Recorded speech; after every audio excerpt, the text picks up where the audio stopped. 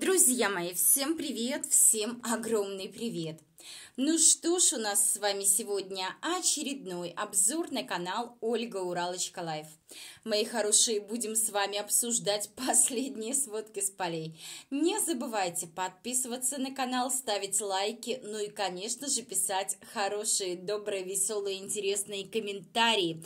Ну что, ребят, давайте с вами обсудим, обсудим некоторые интересные моменты. Ну и, конечно же, начнем мы с вами, друзья мои, с позитивных моментов – предлагаю вашему вниманию прекрасный комментарий моего зрителя Сергея. У меня, кстати, несколько Сергеев на моем канале.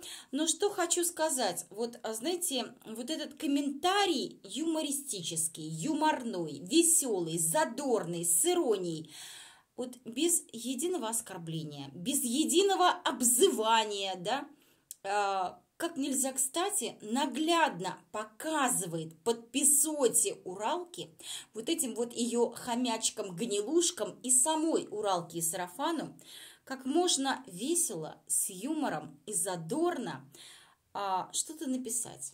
Даже про тех людей, которых, которым нет ни капли уважения. А почему должно появиться это уважение? Друзья мои, мне просто интересно, да? Кто-то, знаете, не знаю Уралки, говорит, а я про нее ничего не знаю, а я, в принципе, к ним хорошо отношусь. Ну, если ты ничего не знаешь, так хочется сказать, закрой свою варежку. Раз ты ничего не знаешь про людей, которые зиговали, которые обзывали славянских женщин, девчонок, а это все было в прямых эфирах, наглядно, прилюдно, публично и так далее, да, которые желали людям смерти, показывали факи в эфирах. Если для вас это хорошие люди, ну, значит, вы сами их уровень. И в этом даже никто не сомневается.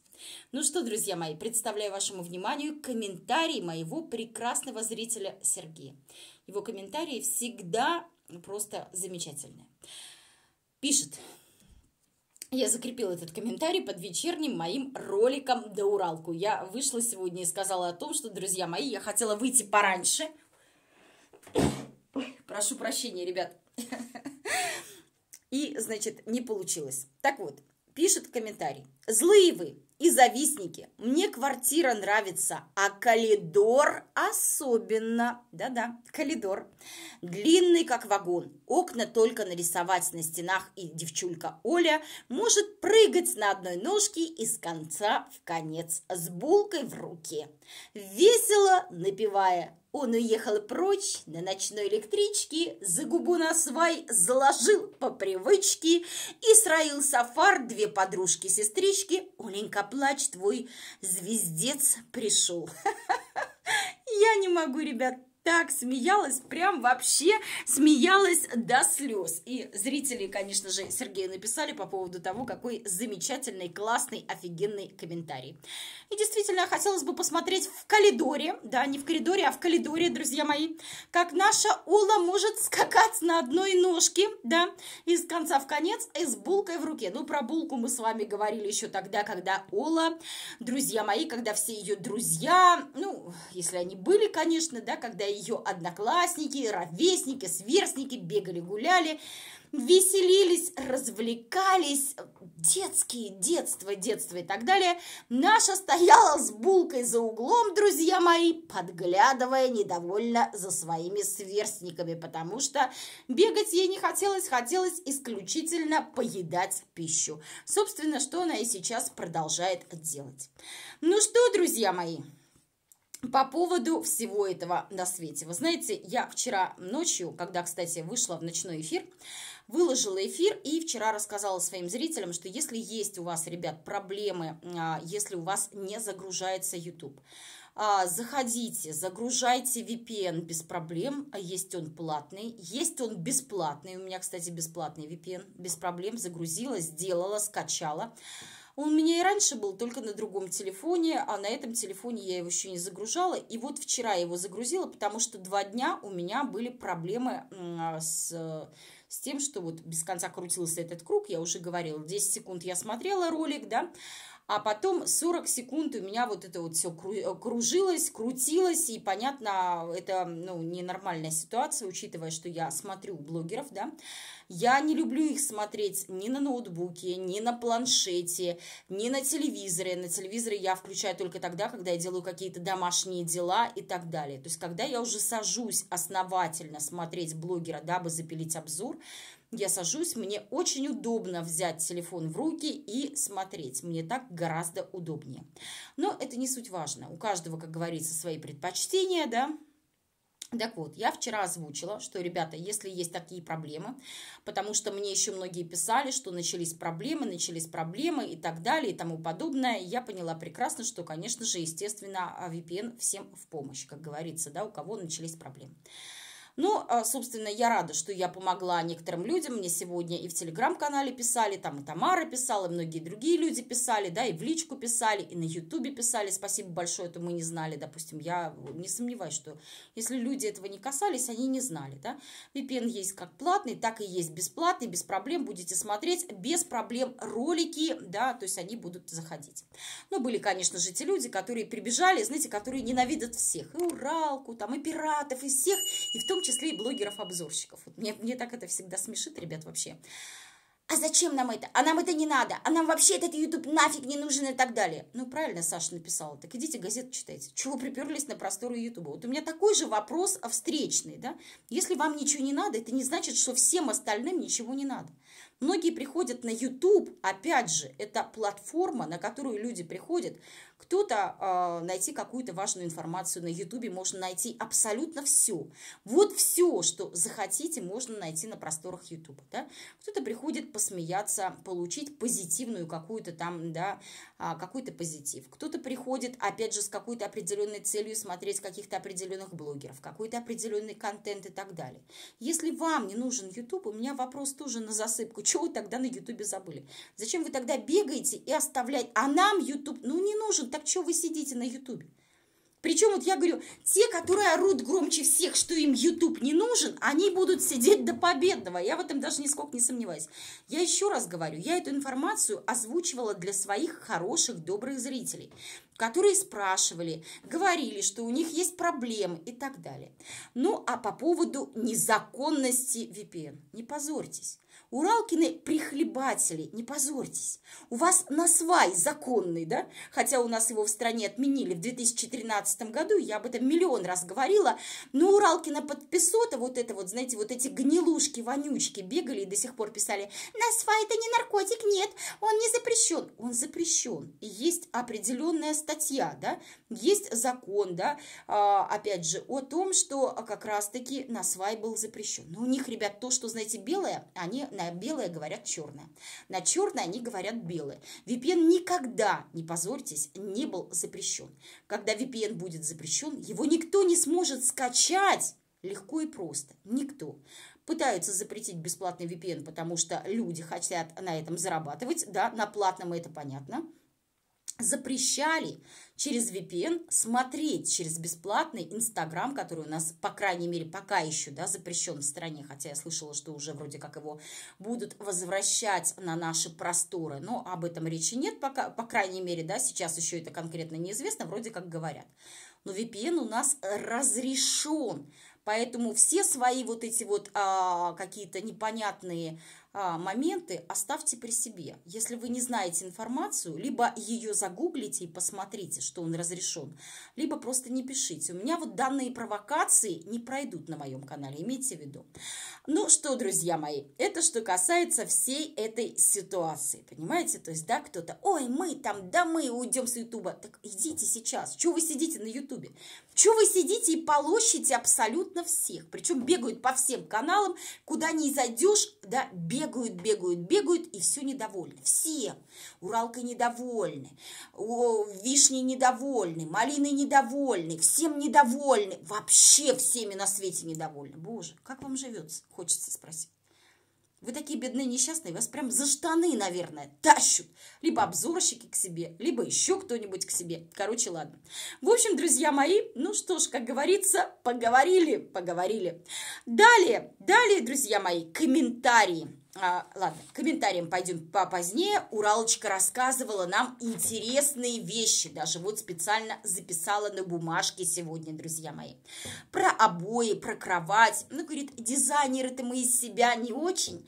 Ну, мы-то такие дизайнеры. Ну, мы-то что там, мы не такие, чтобы украсить жилье. Ну да, Уралочки, ваш дизайн в квартиренке 50-х, 60-х годов, да, в доме 50-х, 60-х годов мы видели прекрасно. Но, друзья мои, Уралочка рассказала о том, что она таки дождалась сантехника. Ой, как сегодня Равзалия насмешила, написав о том, что, надеюсь, сантехник, а не из да, немецких фильмов для взрослых. В общем, да, и говорит, вы знаете, вот Сафарчик, ой, Сафарчик все хочет так быстро, быстро, чтобы у нас все было здорово. Он у меня такой деловой, такой деловой. Да-да, мы помним прекрасно, какой сарафан деловой. Когда он не знает, как правильно держать в руках культиватор, когда он не знает, как правильно, друзья мои, мариновать мясо, как он не знает, как правильно разбираться, собственно, с шашлыками и совсем на свете. А еще вспомните тот самый момент, когда была эпопея с балконом. Так вот, Уралка тогда названивала и договаривалась с руководством фирмы по поводу балкона. Не сарафан, я еще тогда когда сказала, а в чем дело? А чё ж такой деловенный сарафан молчал в тряпочку? А все очень просто, потому что два слова связать не может. Ой, многие кричат, мы не верим, не верим, что он живет почти 20 лет в России. Слушайте, он живет и общается в своей среде, он ничему не учится, он не развивается. Вообще, неужели не понимаете, что такие люди есть абсолютно везде? Кто-то, эмигрируя в какую-то страну, пытается ассимилироваться. Ассимиляция проходит, когда ты пытаешься войти в социальную, да, в какую-то социальное общество да, других людей, пытаешься перенять их культуру, их традиции, язык, да, пытаешься вариться, так скажем, в этом котле, в этой среде и так далее. Когда ты ни к чему не прикладываешь никаких абсолютно усилий, ты так и будешь разговаривать, моя, твоя, не понимать, шашлык, машлык, башлык. Вот, собственно, и все. Но, друзья мои, Уралочка рассказывает, Ой, он сказал, что я так хочу, чтобы ты жила так хорошо, тут и радовалась всему. Вы знаете, когда она это рассказывала, сидя в салоне автомобиля, я подумала, что вот сейчас еще немножечко она прямо кончит, друзья мои, от того, что она сама поверила в эти сказки. Уралка, а у меня к тебе вопрос на засыпку. И не только к тебе, но еще к твоей подписоте. Если там есть какие-то думающие люди, то пусть они мне ответят на вопрос. Уралка с Сарафаном живут вместе 6 лет.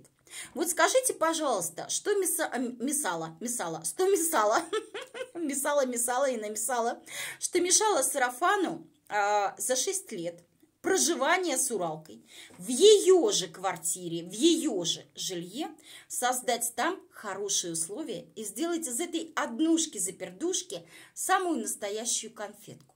Почему он тогда не захотел сделать так, чтобы она просыпалась и глаз у нее радовался, а? Ответите мне, гнилухи, Уралки, вместе с Уралкой из сарафана. А я понимаю, что нет. А знаете почему? А потому что вам нечего ответить. А знаете почему? А потому что это было не его жилье, и ему плевать было на это жилье, точно так же, как и на нее. А здесь жилье наполовину его. И он прекрасно это понимает. И, конечно, ему хочется сделать что-то здесь, да? Это там он жил в однушке и относился к этому не мое и ладно, не мое и не жалко. А что, что там для своей женщины не создал хорошие условия? А я скажу так. А был бы нормальный, достойный мужчина, а он бы создал условия. Особенно учитывая тот самый момент, что он сам пришел на все готовое, с пустыми руками, с пустыми карманами. Просто Альфонс пришел, да, без всего абсолютно. Ну, про сковородку не рассказывайте, это была история, которую уже придумали позднее. Изначально не было ничего. Так вот, друзья мои, ничего он не захотел для нее сделать. А здесь прекрасно понимает, что потом это наследство достанется ему. Естественно, он это понимает. Поэтому и забегал. А до этого свою бабку что-то радовать, друзья мои, он даже близко не хотел. Ой, мне так понравилось, когда она сказала, но в коридоре решили не класть плитку. Правда? А вам Малинка это сказала по горячим следам, когда вы только-только выложили первый ролик о том, что «Ура! Скажите, радуйтесь за нас! Мы купили квартиру!» и так далее. Я сказала, что чокнутые, нафига вам эта плитка в коридоре? В общем, друзья мои, у них все вечно, как говорится, все непонятно как. Да, все в делах, как говорится, Уралка в заботах, селенок ни у кого не осталось. Представляете, Уралка? Ну вот мне так смешно, ребят, да, вот рассказывают, рассказывают про вот эти ремонты, про все на свете. Это же так здорово, вы знаете, это так замечательно. Про сантехнику, про все на свете, правда? А я вспоминаю, ребят, как два года назад, когда у нас ну, полтора, где-то два года назад, может быть, даже полтора, да, потому что там еще что-то доделывали, закончился ремонт, у нас был такой грандиозный ремонт, мы тоже меняли абсолютно все, вот все. Мы решили просто поменять все. Денег выбросили огромную кучу. Ну, просто, опять же, для себя. И сантехнику поменяли, и все. Хотя у нас и дом новый, да, намного новее, чем у Уралки. Вот, я уже об этом говорила, да. И все на свете, все сделали, и так все красиво, и все там и полы, и потолки, и все это, и двери, и это, хотя у нас и было хорошо, но решили сделать еще лучше. И так я радовалась, и помню, в одном из роликов я как-то об этом сказала, говорю, так это приятно было. Боже, какое говно полилось. Полилось говно по трубам от подписотой вонючей Уралки, полилось от самой Уралки с левых аккаунтов и так далее. А, когда сказала про то, что загородный дом приобрели, боже, сколько говна выливалось. Когда рассказывала про отличный отдых а, управления делами президента, ребят, вот жду не дождусь, если откроется, поедем обязательно и съездим за три месяца раза три, хотя там, конечно, и дорого, да, ну, не дешево, естественно, но ездим туда и снимала там и румтуры снимала и показывала, да, и в телеге, и на ютубе и так далее – Хоть кто-нибудь порадовался? Порадовались, скажу. Порадовались мои дорогие зрители. Порадовались. Которые всегда радуются за меня, а я всегда радуюсь за них. Но от а, Уралки, Сарафана и их подписоты было только исключительно говно. Так вот у меня опять вопрос на засыпку. Вы какой радости от нас ожидаете? Почему мы за вас должны радоваться? Мы вам вообще ничего не должны. После ваших оскорблений наших, э, нашей культуры, наших традиций, наших дедов и прадедов, после вашего зигования, после ваших оскорблений славянских девчонок и женщин. Если для кого-то это, знаете, как махнули рукой и сказали, а я ничего про них не знаю, они для меня хорошие люди, так и закрой свою пасть, заткнись в тряпочку, да? А для нас это не хорошие люди. И мы все это прекрасно знаем и прекрасно помним. Друзья мои, понравился очень один комментарий Ирины. Иришки, моей хорошей доброй зрительницы. Уралочка, раков случайно не осталось, плиточника угостить. Сантехника, видимо, Ирина имела в виду. Дело не в этом, друзья мои. Ну, хоть, хоть кого, как говорится, Ира абсолютно права, да. Эти раки, друзья мои, этих раков не смог сожрать никто. Ни Уралка с сарафаном от своей жадности, ни подружайку Светочку, да, накормить не смогли. Ни всех остальных, ни Маришку, никого. Короче, друзья мои, это что-то с чем-то. Это просто нечто. Ну и по поводу ложи любви. Да, Уралка мечтает о ложе любви, но на этом ложе любви Уралка сможет исключительно только лежать, друзья мои. Другую позу принять она там не сможет. Но пол шестого, как говорится, все уже, все поникло, все упало уже, упало и все пропало. Я прекрасно понимаю, что этот мой обзор не понравится подписоте Уралки. Ну, что, как говорится, каждому свое.